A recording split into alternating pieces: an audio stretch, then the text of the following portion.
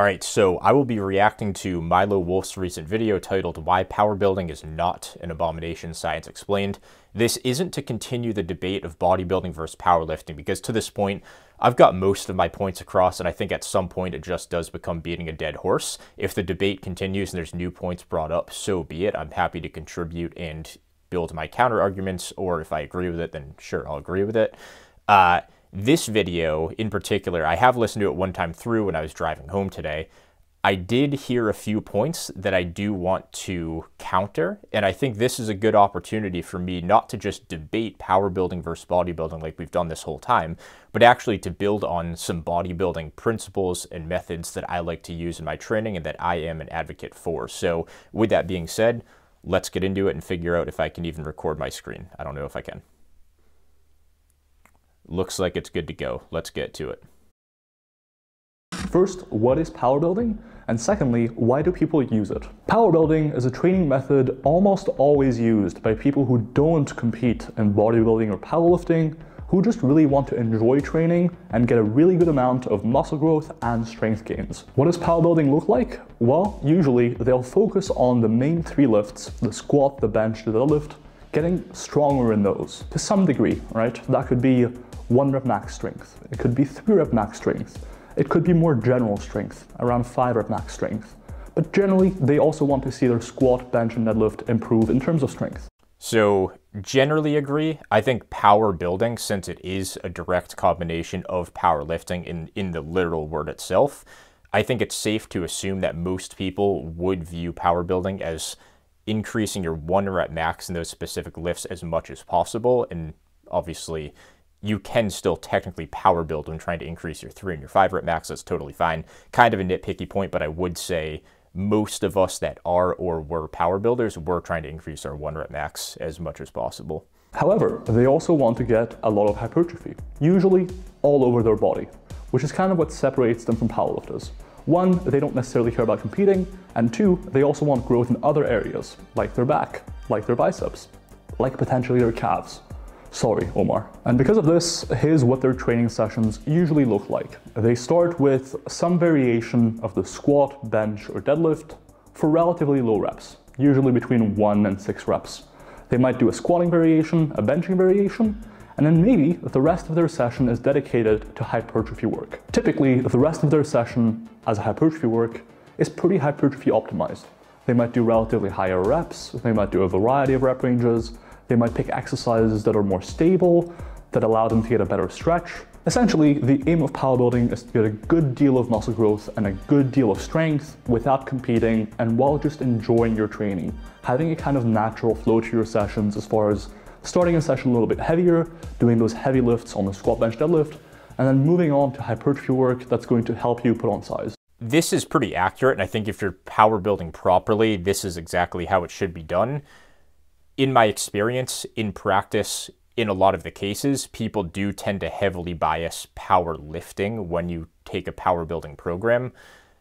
From what I've seen in in the community, because I've obviously been a part of the power building community for a while, obviously not anymore, but I was for quite a while. In practice, a lot of the time this turns into basically power lifting with a lot of fluff and pump work it's very easy to get overly attached to your numbers on the big three and have that be the motivating, exciting part of your training that you get most of your psychological reward from. When it comes to the bodybuilding work, it's always going to be after. And from a programming perspective, technically it makes sense if your goal is to get as strong as you can on the big three in a powerlifting sense and to get as big as possible. Powerlifting is going to override size. So at that point, I would say power building is a little bit more skewed to powerlifting than bodybuilding. I wouldn't say it's an even split. But in practice, I do see a lot of the time people will program so perfectly their squat bench deadlift and set these up to make them the biggest priority ever and then the bodybuilding work turns into fluff and pump. A lot of the time it's just programmed curls as three sets of 10 or push downs, three sets of 10. No cues on setup. Nobody pays attention to your form on there. Nobody pays attention to your effort or intensity. It's just treated as fluff and pump work. And of course, this is up to the individual to decide if that work is worth pursuing to the, their fullest efforts. A lot of the time, it doesn't end up being like that. So I'm not trying to say you can't power build because of course you can. But I do think in a lot of cases, especially if you're unaware of the psychology of it, you are going to be leaving a lot of size gains on the table. I know with myself per- personally, I would put all my eggs in one basket, go hard on the big three, and then when you have a successful session with the big three and you hit them hard, everything else is just kind of boring in comparison because you have a strength oriented mindset to start the session. You're just in that mood to lift heavy weight and push heavy weight, and it's not fun to go do something like a lat pull down or a tricep push down or a leg extension after, and you end up leaving gains on the table. And of course, this isn't a, a concrete, tangible thing that you can't fix, but I think it's it's basic psychology that can get in the way of a lot of lifters, and that's why I do think natural hypertrophy's point about the spider mode physiques does show up a lot of the time, and that's why I think you see a lot of power lifters or power builders have developed powerlifting muscles like your glutes, your hips, the quads to a big extent, the chest, and they always seem to have arms, calves, etc. lacking because in reality, powerlifting in the short term is more rewarding and it's more exciting than bodybuilding, especially if you're doing both at the same time. Bodybuilding is very different, and I hate when people say it's an art form, but I think that's the only way I can properly put it. It's not as competitive in the short term, it's more of you're just chipping away at something. So it's not as thrilling. And I think when you put something as exciting and as thrilling as powerlifting can be, uh, that can override your desire to truly train your bodybuilding movements hard. Now to get one thing out of the way immediately, is power building the best approach for gaining size? No, that's bodybuilding. Is power building the best approach to make you a better powerlifter? No, that's powerlifting. However, power building is basically never used to make you the best in terms of size or in terms of strength or in terms of competing in bodybuilding or competing in powerlifting. That was never the aim. So he's correct in that, and I do appreciate that. I would say there was a very long time where the mainstream definition of power building, where it would be a perfect mix of chasing one rep max powerlifting and chasing maximum size, there was a very, very long time where that was treated as the best way to get bigger. To have a one rep max that you're chasing for in a certain strength standard promises you to be bigger, and you have to have a movement that you do progressively overload to grow, and everything else is just kind of pump work this was treated as the best way for bodybuilding for a very long time. I know in our niche little community, 95% of us disagree with that and we understand the difference between powerlifting and bodybuilding and power building. We understand that in power building you're sacrificing your potential on both of the of the endeavors. A lot of this when you go to the mainstream of lifting, a lot of people still don't understand that. And there's still a huge community. There's an entire generation of, of people, lifters about my age, that still don't understand this. And I know we live under a rock in this little niche and we seem to forget that a lot of the time. Like, keep in mind, when I made my channel, I was coming from the mainstream where programming just makes no sense. Nobody think, can think critically.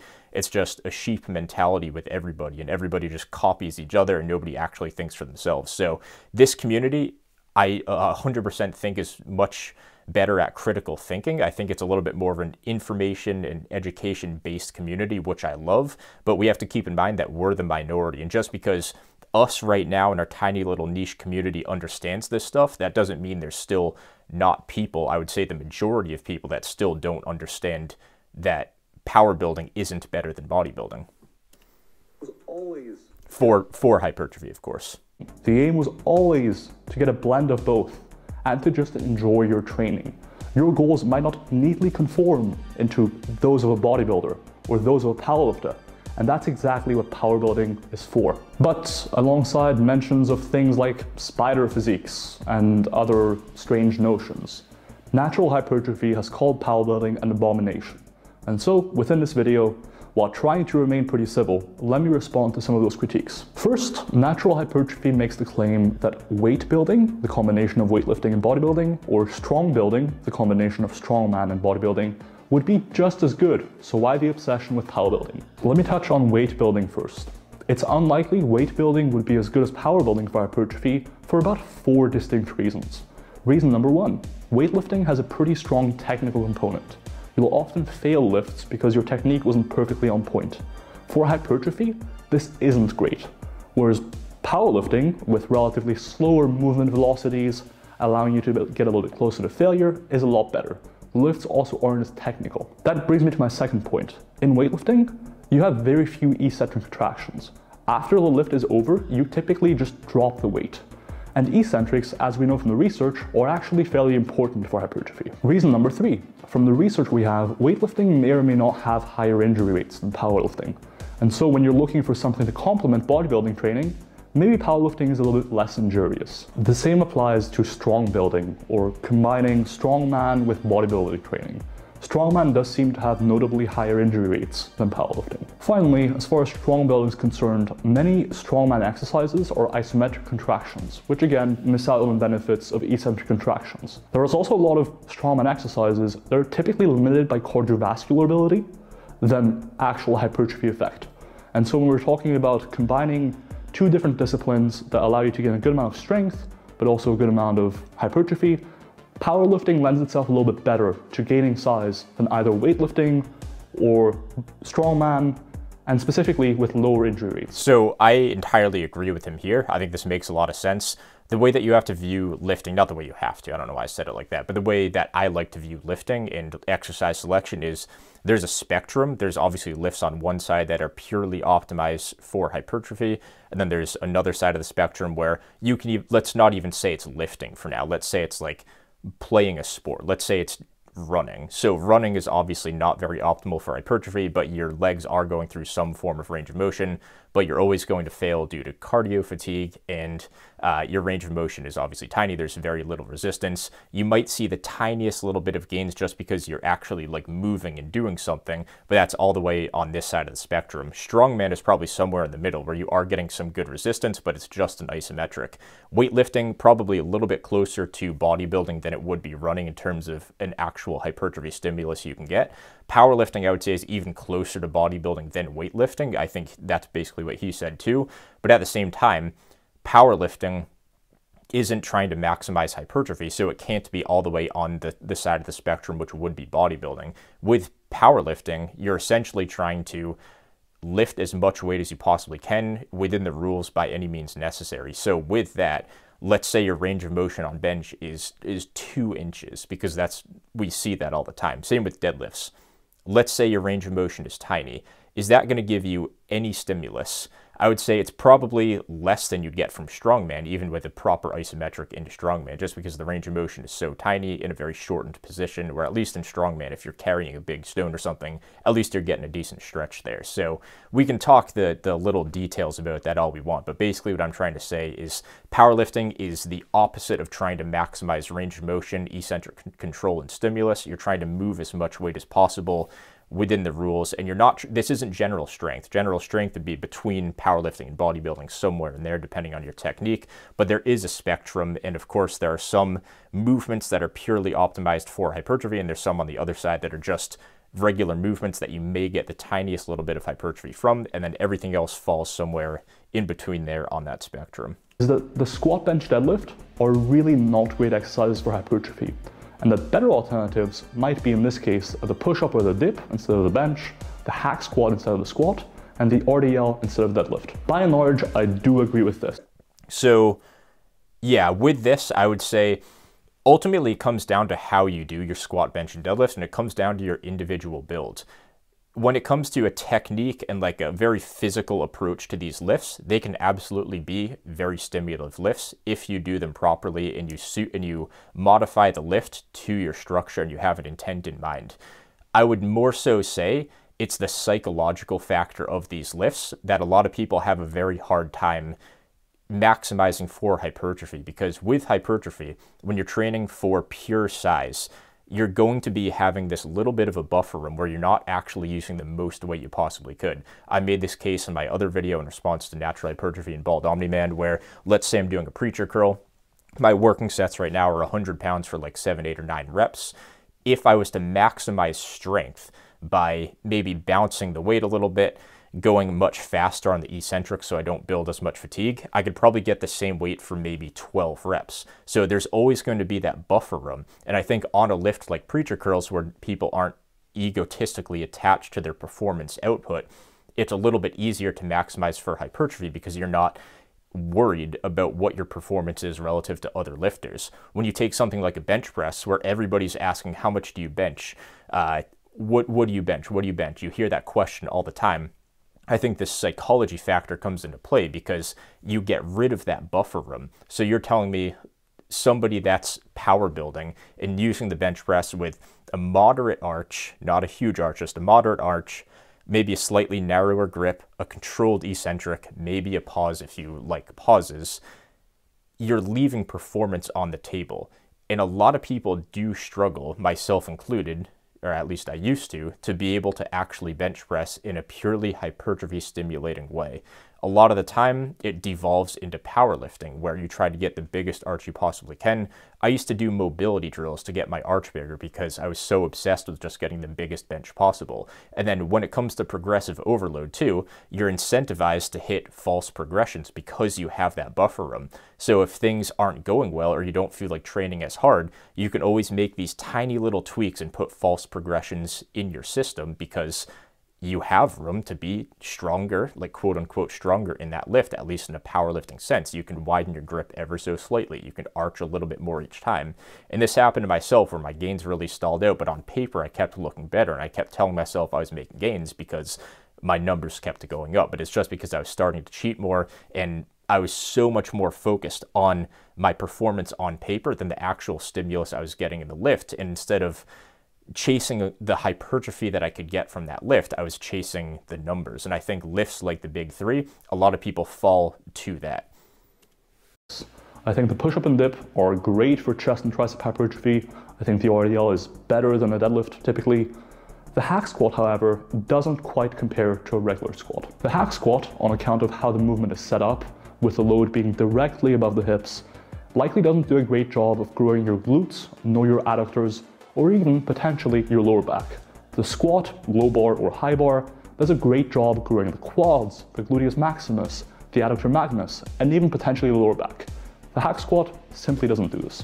So I do disagree with him here. I, I agree with what he's saying, but I think I disagree with his perspective on this. When it comes to something like a hack squat, the reason why it's such a popular lift for bodybuilders to use is because it maximizes your growth in your quads. You don't have your hips taking over, you don't have anything else becoming a limiting factor. The hack squat forces you into the best knee flexion that you can possibly handle. So, since your hips are supported and they're pushed up, it maximizes your knee flexion. So, so as long as your tempo and your range of motion are under control, you can basically maximize quad growth through this. And this is where I think the methods start to diverge a little bit. Where if you're training for pure bodybuilding, I would argue it's better to try and have a lift for each muscle group that maximizes the growth in that muscle, whether it makes it the prime mover or the limiting factor, or it just works well with your actual structure.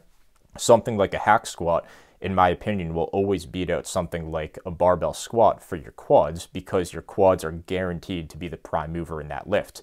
And of course, you do run into the issue of, yeah, well, now you're leaving spinal erector gains, you're leaving glute gains and adductor gains on the table, but of course you're going to have other lifts to target those those muscles too. If you're training purely for hypertrophy, you don't just squat and say that's all you need for your glutes, for your spinal erectors and for your quads. You're going to be doing more lifts anyways. So I would say instead of trying to put all your eggs in one basket and get maximum growth from one specific lift, I'd say pick a couple different lifts that you'd be doing anyways. You can get away with doing less volume in most cases with this if you just have a higher exercise variety that are more directly and locally targeted to the muscles that you're trying to hit. So for myself, I would pick a hack squat and an RDL and a hamstring curl and then some calves over a high bar squat and then whatever else you have for that day. More importantly though, when it comes to replacing the bench with a push-up or a dip, or the squat with a hack squat, there's a psychological motivation component. Most people get motivated and gain some self-efficacy by seeing other people achieve greater things than themselves. And really, how often can you compare yourself to someone stronger than you on the hack squat? So this is where I do definitely disagree with him. I would say I see where he's coming from, and there are people that this is good advice for, people that will train harder by having a strength goal in mind. That's a that's a good training approach for them. But for people that are motivated to build muscle, this approach is distracting and it will take you off track, in my opinion, and at least in my experience. What I see a lot of the time in people that I've lifted with, and myself, obviously, people I've seen in the community, people that I've trained to, an approach like this isn't necessary because you are motivated to get bigger. If you're in the gym to get bigger and you're training for hypertrophy, then you shouldn't need motivation to train hard because you're training hard to build muscle. And you're not competing in a specific lift, you're competing in quad size. So instead of saying, oh, I want to get a bigger squat than this guy, and saying, oh, well, you can't hack squat because you're not going to compare your hack squat to someone else. That's a valid point. But at the same time, if I'm a bodybuilder and my genuine innate desire is to have bigger quads, then I'm going to train my hack squats hard and get the most stimulus that I possibly can out of them because I want to have bigger quads than the next guy. So this is where I think, I don't know how Milo trains himself, but I would say it seems like he's coming from a perspective of somebody that really likes getting strong and really likes lifting in itself and likes to get big. So somebody that should be power building, there's nothing wrong with that. But for people that want to train for pure hypertrophy, motivation's not an issue with the lift because you are obsessed with intensity, training as hard as you can, and getting your volume in, controlling your eccentrics. It's not about the weight that you're moving, it's about how hard you're hitting that muscle in a, in a stimulative term, in a stimulative sense. Are there really that many people around you doing five reps on the hack squat that you can compare yourself to? Is there a sport centered around hack squatting from which you can draw inspiration as to how much stronger you could get, how much harder you can push? The odds are there isn't. So I actually kind of disagree with that. Uh, if you obviously we have we have social media now, so you can watch what all the other top bodybuilders are doing. If you feel like you need some motivation and you are kind of driven by strength and performance, even if it's a hypertrophy oriented lift like a hack squat, which you can chase strength on as long as you control your range of motion and your tempo on, you can chase strength on it because you can't really cheat your form. The, the machine locks you in really nicely versus on a, a, squat bench deadlift, you can shift your body around however you want and escape kind of the hard parts and that, that deep stretch. So you can be strength oriented on machines. And I'd actually argue from a physical perspective, it's more optimal to do that than to chase strength on something like a barbell, a barbell lift like the big three, for example. So I would say with this, this is where machines do have their their place, and this is why I do think machines have a, a benefit compared to free weights in most cases for hypertrophy. And I would even say with social media, a lot of the top bodybuilders are very strong on lifts like a hack squat. Like if you look at, say, AJ Morris or Adam Powell, or really any of these top bodybuilders, and I'll, I'll probably put a picture, link these guys in here somewhere, they train very hard and are very strong on a variety of machines. And these guys are high level natural bodybuilders that post up all these lifts. And these are just two examples. Once you start to get into the natural bodybuilding community and you see everybody else making these YouTube videos and commenting on these videos, or if you go on Instagram, TikTok, you can see all these top guys and how they train and you can compare your machine lifts to their machine lifts. So it's I would say, yeah, I mean, there's no direct competition in a one rep max or anything, but with social media, you can see other guys training these lifts pretty hard. And even if you're watching someone else do an entirely different lift, you can still learn that intensity from another lift and just apply it somewhere else that is more directed towards a lift that fits you better physically or a lift that's just more stimulative for hypertrophy. So when I see like a strongman or a powerlifter or someone like that training hard, I don't want to copy that exact lift and what they're doing, but it does inspire me to actually train hard just in something that's closely related to what I'm actually looking to get out of that lift in terms of hypertrophy. And so the psychological motivation component, the enjoyment component, is often a lot lower with movements like the hack squat. And that is a perfect sign of somebody that's put their reward. You put your psychological reward in your performance. If you're training for hypertrophy and that's purely what your goal is and what your innate desire was when you started lifting in the gym, you're probably going to end up leaving gains on the table by doing that. And now you're not even going to get that same fulfillment that you came into the gym for in the first place. If you came into the gym just because you wanted to get bigger and then you got sidetracked by strength, I'm not saying it's not okay to change your goals or just start to chase strength and realize you might enjoy it more. That's totally fine. But I think if you go into it and you focus on getting as strong as you possibly can in powerlifting and focusing on things that you didn't actually want to, I think a lot of the time you're getting distracted by shiny objects. And when I started chasing the power lifts, it was like a nice ego boost because I was strong. People would always tell me I was strong and I could compare myself to other people and everything looked good. But my physique was lacking. And while I was chasing powerlifting and getting good at it, it was ultimately just an egotistical venture for me because ultimately I just wanted to get bigger. And that now that I'm bigger and I have the physique that I want, or I'm, or I'm at least on the path to doing that, it's a lot more fulfilling. And I really feel like I'm maximizing my time in the gym and also just enjoying it more. A lot of people that are training for hypertrophy don't actually enjoy the training themselves. I'm not saying you can't enjoy it, but we enjoy the results. People that train for strength enjoy being in the gym because that's their place to go perform. When you're training for hypertrophy, the gym is just what you have to do in order to, like, quote unquote, perform outside of the gym by having the best physique that you possibly can. So that's where I see a performance oriented mindset where the highlight of your day is going to the gym versus a more of like a quote unquote uh, what do you call it? Like an art an art form mindset i guess for bodybuilding where the gym is just what you have to do to perform outside of the gym. When you leave the gym as somebody that cares mostly about strength and that's what you take pride in I'm not saying it leaves entirely because it does build a, a, good amount of confidence and everything, but your physique doesn't necessarily come with you the same way it would when you're leaving the gym training purely for hypertrophy. I hope that makes sense. Next, natural hypertrophy refers to many buzzwords as to why powerlifting might be worse. He mentions central nervous system fatigue, stimulus to fatigue ratio, less tendon strain, better range of motion. Now, I'm pretty sure yeah, the the central nervous system fatigue is an interesting one. Um, I'm not going to try and debate that one. I don't make that case a whole ton. That's probably a point that I would just leave alone. I don't think that's a major factor, but I do think overall cardio respiratory fatigue is is a factor when it comes to using lifts that are highly fatiguing.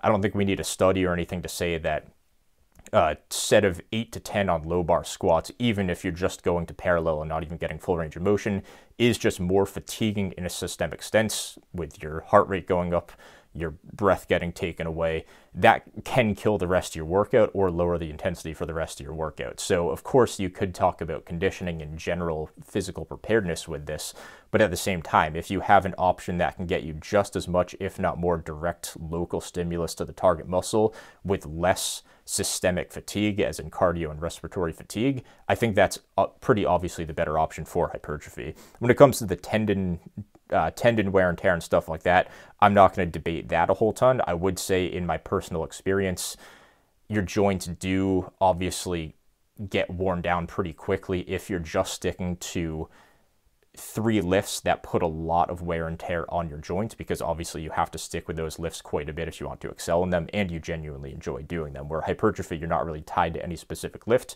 I, I am an advocate to keeping your lift in as long as you want in your program until your body kind of tells you no and gives you warning signs of overuse injuries. But yeah.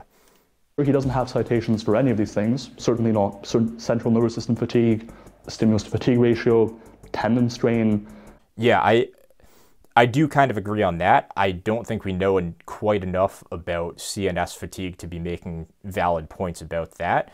If you want to talk about stimulus to fatigue or central nervous system fatigue in reference to how much fatigue you're building up in a cardio or respiratory way, I think that's totally valid because we can feel and experience that ourselves. We don't need a study for that. Uh, but at the same time, going into something like tendon wear and tear or central nervous system fatigue in particular. I'm not, I, I don't think natural hypertrophy meant it in a very specific way like that. I think that's probably just the words he chose. Uh, I don't think, at least me personally, but I don't, I don't think we know enough as a community to be making very specific points about words like that. And I don't think he really understands range of motion. He's denounced lengthened partials before.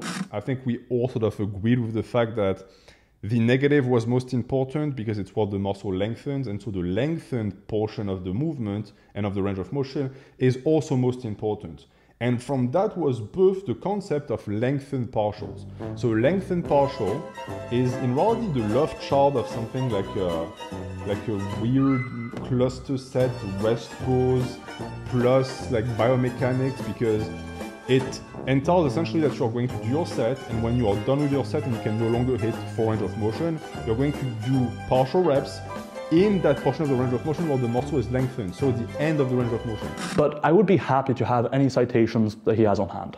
But my hunch is these are just some buzzwords that a lot of people use mistakenly to justify their training choices. Sometimes it's good to have a movement with a shitty resistance curve because it forces you to fight certain, uh, through certain sticking points that are going to then be very, very, very challenging for the muscle. Next, natural hypertrophy makes.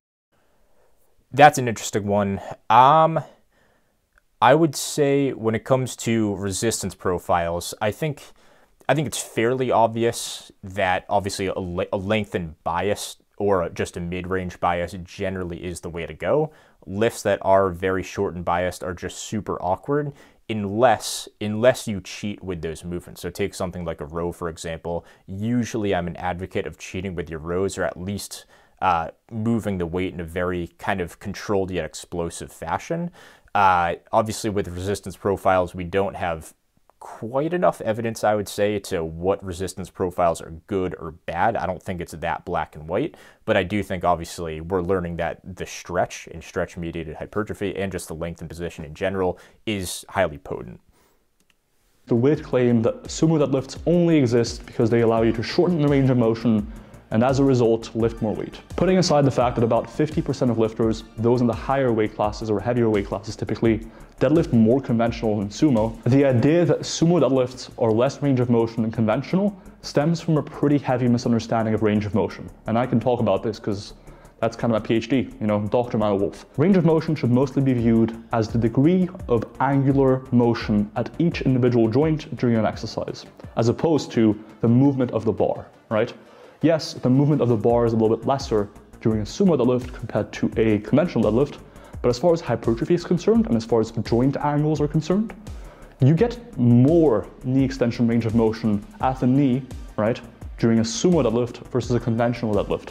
You get about the same hip flexion range of motion during a sumo deadlift as a conventional. And so, while there's less range of motion, everybody calling my sumo deadlift invalid he's proven you guys wrong.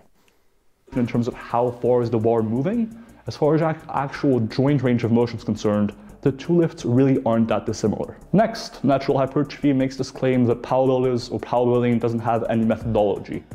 My question is, if you're not going to compete, you're training for fun, you want a good blend of general strength and size, why do you need a super specific methodology? There really isn't any super compelling evidence in the first place that periodization plays a large role for strength gains and certainly not for hypertrophy. So why would they need super intricate periodization when they could just get a good amount of size and strength training as they currently do? For example, why would you need to taper and why would you need to peak and spend several weeks on this that you could be spending actually training instead when you're just maxing out for the fun of it, right? You could just go into the gym and max out. Will you perform your best? No.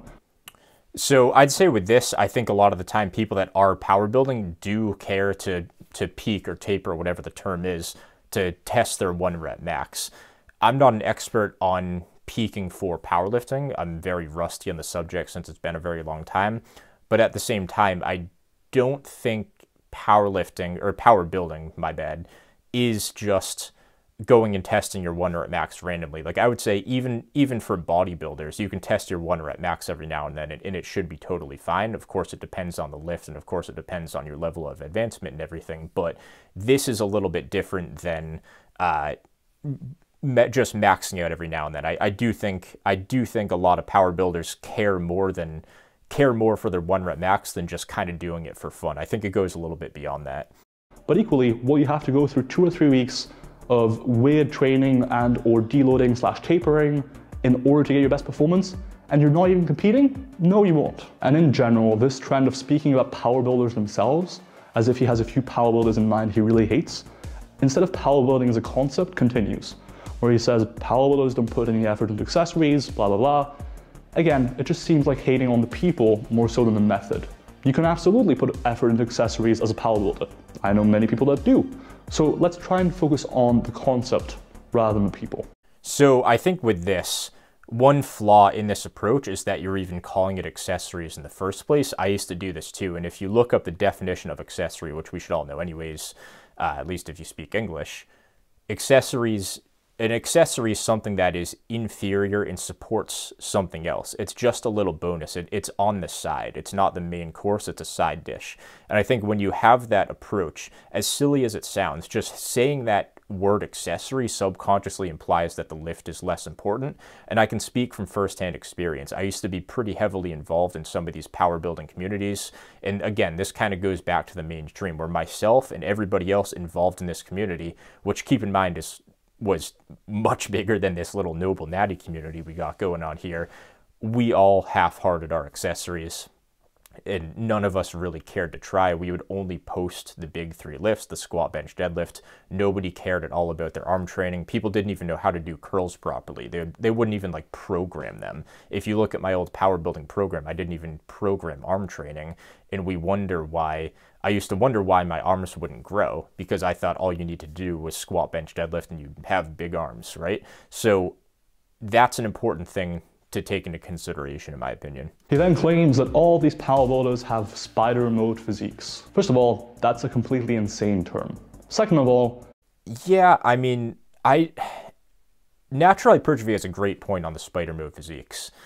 It's not, and it's not to make fun of somebody. I think it's just it's just to point out that if you train in this specific way, you can see when someone is attached and incentivized to increase their strength on one lift, we, we, whether it's suboptimal or not, we can debate that. At least training the power lifts hard will get you more growth than doing fluff and pump work for bodybuilding.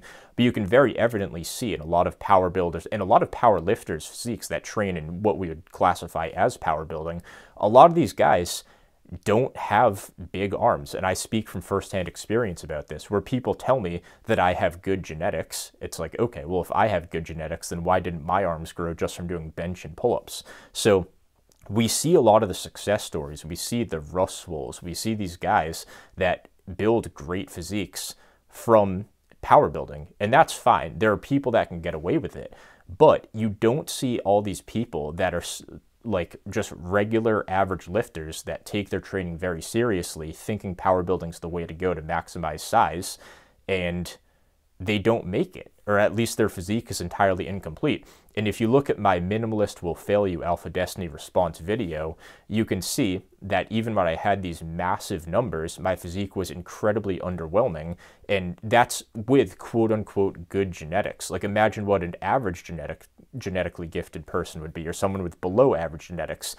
In just just to be transparent, I don't think I have good genetics. People just tell me that. I think it's just because I trained hard and have been doing it long enough. But not everybody makes it. We see all the success stories, but like I used to follow these guys that had great genetics and perfect builds, and they would train in this power building way, and I wanted to look exactly like them. And if it wasn't genetics, it was at least PEDs, and they would just have big physiques and look great because of that. And then when a re- regular average Joe like myself went to go do it, the the gains magically didn't come, and it, it turned out it wasn't because I had bad genetics; it's because I didn't have great genetics and I had to modify my training to be much more specific to get to their physique where they could just kind of do whatever they felt like and it would work because they were gifted for building muscle. The impact of the exercise order on hypertrophy really isn't that clear from the research. Just because you do your arm work or your back work after squatting or benching work doesn't seem to say that you'll necessarily see much less hypertrophy than if you did it first. So the idea that you could just do your arm work first in the session and get a lot more hypertrophy and avoid the, ooh, the spider mode physique, that just doesn't seem to be true based on the research we have. Furthermore, by doing so I agree with that on a on a physical level for sure. I think a lot of the time if your program is set up properly and each session is set up properly, you should be able to train through the full workout totally fine. When you have something like the big three in your program, there's no doubt that you're going to be more fatigued by the end of the session. So I think from a physical perspective, it can be a little bit fatiguing. Whether the research says it or not, I think just in our own experience, we can say that the lifts towards the end of the session, if your program isn't set up properly, are going to be less stimulative because, because you are more physically fatigued. But at the same time, a lot of this does come down to psychology, where a lot of the lifts that you do at the end of the session will be less stimulative because you're just not training them as hard and you already feel accomplished from, say, having a successful bench session and you hit a PR earlier in the session. So uh, even even with that on the other side of the spectrum, let's say you hit a hit a good bench PR at the start of the session, you might be just complacent and satisfied with that, and you might not care too much for the rest of your session.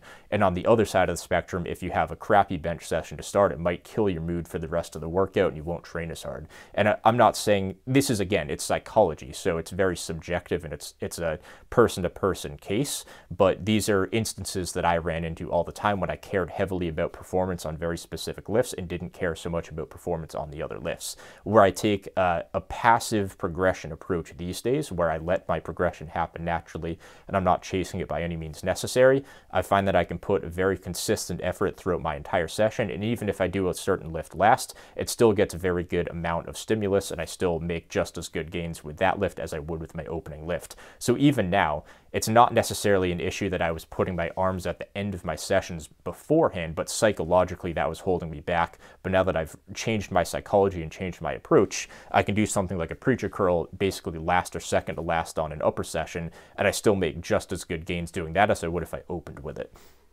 Your compound lifts first, especially for example a squat for at least five reps, you might actually be putting on more size overall. In bodybuilding specifically, there's kind of two main factors here, right? There's conditioning, but that's besides the point. But there's also muscularity and symmetry. In terms of muscularity, training your quads, your glutes, your hamstrings, your pecs, your triceps, as you would during powerlifting first in a session, is going to really emphasize the X taper, right? That X frame that is really prized in bodybuilding. Likewise, as far as symmetry goes, it provides a nice blend of lower body and upper body as far as providing a nice shape. He also puts forth this idea that you need to isolate every single muscle group in your body if you're power building or bodybuilding. The truth is, you don't. If you want to compete in bodybuilding, would you be well advised to actually isolate a lot of the major muscle groups? Yeah, probably. But the point here is, power builders don't necessarily care about their calves. Shout out Omar Isuf. Maybe they just want to grow muscle overall, enjoy their training, get a little bit stronger, and that's it. Yeah, and that's fine too. If you if you don't care to maximize your entire physique, you just want to be generally a little bit bigger, and you do care about performance and strength, there's nothing wrong with that. And that's not what me or Natural Hypertrophy, I can speak for him on that because I've watched enough of his content. That's not necessarily what we're trying to say. But I think for somebody that's training purely for hypertrophy, this is where things get to be a bit of an issue where you are going to lose uh, basically performance, not performance, uh, program real estate when it comes to things like forearms, calves, neck, abs, etc. Not everyone needs to min-max every single muscle group. Natural hypertrophy then makes the demonstrably false claim that the hypertrophy rep range is between 3 and 15 repetitions. We have data showing that doing sets of 3 is far less efficient than doing, say, sets of 10. In fact, doing 7 sets of 3 with 3 minutes of rest was equivalent for hypertrophy to doing 3 sets of 10 with 90 seconds rest.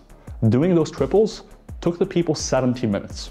Doing those sets of 10, those three sets, took people 17 minutes and they saw the same growth. And so yeah, sure, if you're happy to spend five times or four times the amount of time in the gym, be my guest, do triples. But there's a good chance that both as far as time efficiency and as far as how much fatigue each set causes versus how much hypertrophy it gives you, doing sets of three really shouldn't be part of the hypertrophy rep range. Based on the research we have, the true hypertrophy rep range is between 5 and 50 repetitions. Finally, doing those sets of 3 in your training is probably just going to bang you up a little bit more. So just as a broad recommendation, I don't think you should recommend sets of 3 for hypertrophy. Natural hypertrophy goes on. Yeah, I would say sets of 3 probably not the most efficient. The lowest I personally go is 5 and that's for uh, a lengthened biased compound lift. 3 is yeah, I, I, I agree with Milo here. I would say 3 is less efficient.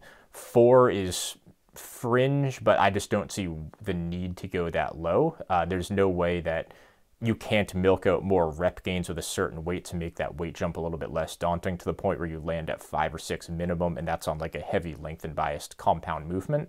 Uh, yeah, three three is a little bit too low. When there's there's infinite infinite numbers, I think the the first three numbers that exist besides negatives should probably just be avoided misunderstand intensity, saying that a lot of influencers say, oh, you need to train really intensely for a powerlifter, but not so intensely for a bodybuilder. That's either a straw man or just displays a lack of understanding what intensity means in a sports science context. Intensity in sports science refers to percentage of one rep max within lifting, right? And so, yeah, bodybuilders don't need to train with as much intensity. Powerlifters need to train with high intensities, aka high weights, in order to be specific to the sport.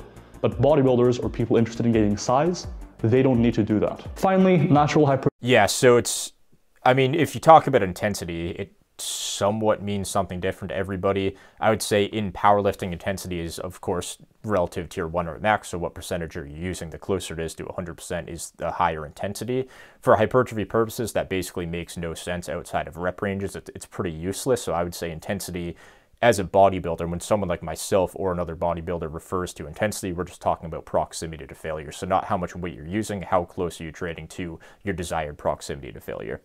Hypertrophy just refers to anecdotes from silver era and bronze era bodybuilders saying, you know, they didn't train with heavy weights. They, they focused on uh, hypertrophy rep ranges and those good movements like the hack squat, etc. You can use anecdotes to any level. I know plenty of power builders that are bigger than natural hypertrophy. Does that make power building better than pure hypertrophy training? No, not for gaining size, but that's the point of this video. Power building is a good approach if you want to gain size and also want to gain strength. You might gain about 80 or 90% of the potential size and strength you could gain if you were to simply dedicate yourself entirely to one pursuit or the other. So it gives you a really good blend of both. And more importantly, this is for people who aren't competing in either powerlifting or bodybuilding or who just want to enjoy their training and structure it as they wish to. Dogging on power building is really not constructive, and I think more importantly, people should train as they please, especially if there are no competitive endeavors. So I'm going to stop the video there. The rest is just his outro. I would say when it comes to competing, I don't think it matters if you're competing or not because the standards are so wild for, for bodybuilding especially, but I'd say even powerlifting to an extent too. I think if you're somebody that isn't competing, but you still want you still have that competitive nature it's okay to compete in a non-formal way. It's okay to compete against other guys in the gym that are your buddies or other guys that you look up to on social media or something and that's totally fine. Just because it's not an organized event doesn't mean you're not training in a competitive way. And even then if you're not competing against another actual person as corny as it is i think you're still competing against yourself at least to an extent. I know for myself that if if I'm stagnating, even though I have no desire and I can't stand bodybuilding competitions because it's just a diet competition, in my opinion, of course, muscle mass is a factor, but besides the point, I like to make progress and I take my training very seriously. This is like the one thing in my life that I really, really push hard for. I'm a pretty well balanced, like chilled, relaxed guy outside of this.